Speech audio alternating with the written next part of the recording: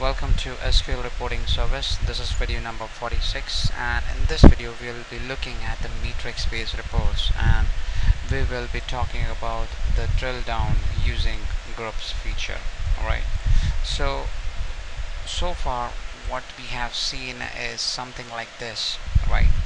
So here's the thing you know uh, the product what you're seeing on the right hand side you know it belongs to some category. So it would be nice you know if rather than looking at you know the whole products and how much sale is done for them it will become you know quite uninteresting. So what my plan is instead of looking at all the products I should look at the categories first.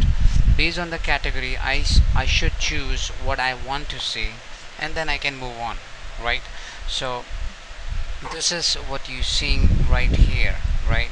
So and as you can see and the row groups is grouped by the product name and the columns are grouped by the employees right? So what I'm gonna do is I'm gonna right click in here. I'm gonna click on uh, add group. I'm gonna add a parent group because uh, what my point is parent is a part. Parent I mean the product is a part of categories. First when the products arrive they have been categorized. So basically the product table has the category ID within that self.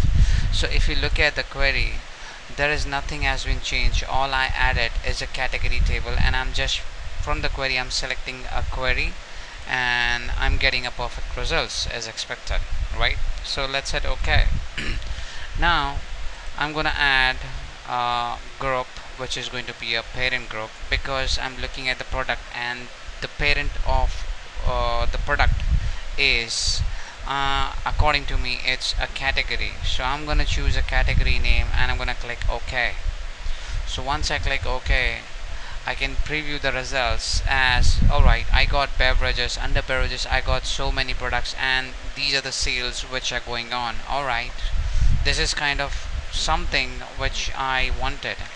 But let's break it down further. This is not very much easy and comfortable for the user to view it. So what I'm gonna do is I'm gonna click at the bottom you seeing the row groups. Below that there's a category name and below that there is a product name. So I'm gonna choose a product name. I'm gonna right click I'm gonna choose on group properties. I'm gonna go to visibility. I'm gonna choose show when you choose a category name. And I'm gonna hit OK.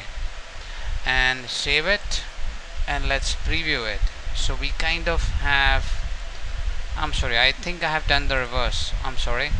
So again product name group properties visibility height and display the toggle when it's done. So save again and let's preview so basically this is what you're looking for. All the categories are you know collapsed. So when I click on beverages I can see the beverages and the sales which are done by the employees. The good thing about this is when I collapse it actually does the sum you know for Andrew over the beverages. So basically now besides uh, you had the idea about individual products now you have more control over the categories right?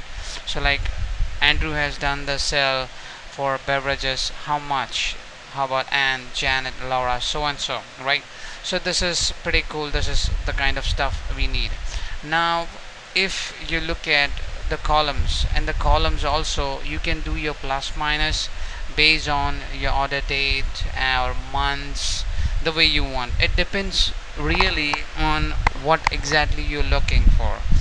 In our case I just wanted to make out the sale of an employee. In your case it could be something like you know uh, again the categories then the product on the left hand side on the right hand side would be the time uh, on which the sale was done and uh, the dates I mean like it could be uh, can be break down into the year and then year can break down into months and then months into the dates if you wish to see. So like all this complex stuff you know you can do it within the matrix report. It's up to you like what data you want to project in here and is it possible to see those things right so uh, I guess this would be end of it. And uh, in the next video I'll try to create something interesting in the matrix reports. So I hope you like this video. And if this video helps you in some way then please share this video with your friends. Subscribe to my channel. And once again thank you for watching this video. Good night and take care